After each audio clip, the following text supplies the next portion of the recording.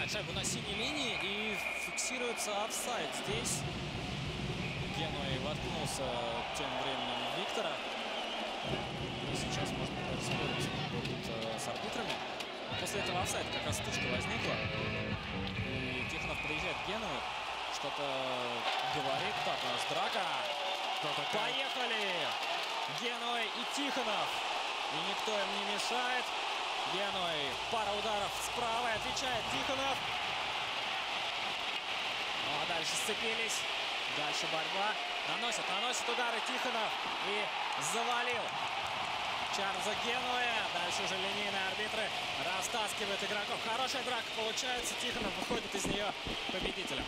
Ну а вот смотрим еще раз э, повтор э, драки.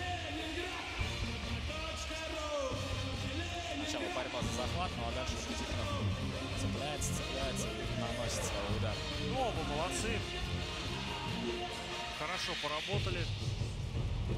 И сейчас будет время отдохнуть. Второй раз на скамейке штрафников отправляется